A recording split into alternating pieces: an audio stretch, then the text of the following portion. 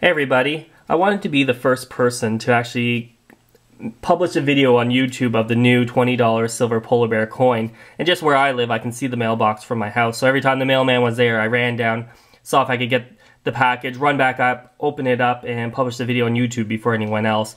And to be honest, somebody already beat me to that race, not mentioning any names. But I still wanted to show you guys mine, so here it is. I really like the design of this one, actually just as much as the maple leaf one. I'll show you in a little bit. But the $20 silver polar bear coin, I keep mine in the packaging.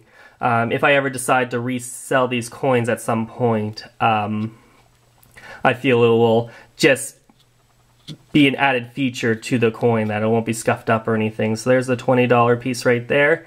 And I wish the Royal Canadian Mint would come out with this coin, but in a series where you can only buy three per household. I know there's lots of people cheating on that rule, but I wish that they would just continually come out with a $20 piece that they would just always sell as many as you want, just like the maple leaf.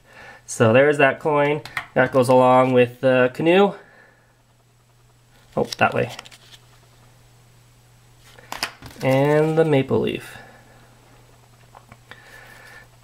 And Royal Canadian Mint also gives you the option you can subscribe to the series now, so the next coin's already bought even though they haven't uh, presented the design. So there's a series I really like. Uh, hope everyone has a good day.